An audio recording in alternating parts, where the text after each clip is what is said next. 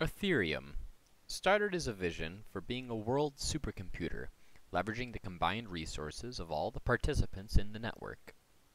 However, Ethereum currently utilizes what is known as proof of work consensus algorithm, which is a synchronous system, allowing only a single set of actions to happen at once.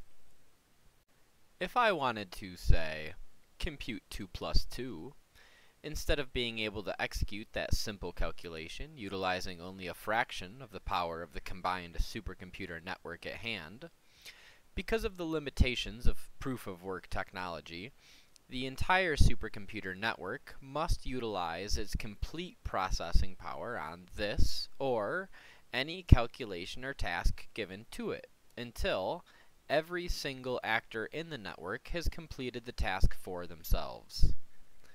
There is massive inefficiency and waste of processing power in this method, as most calculations the network is being called to do can be solved by only a small portion of the network, freeing up the rest to focus on solving other problems simultaneously in parallel.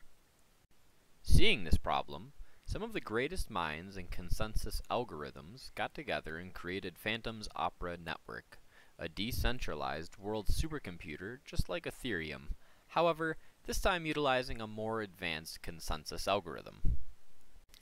A proof-of-stake verified computing consensus algorithm that doesn't utilize large physical energy consumption like proof-of-work models do.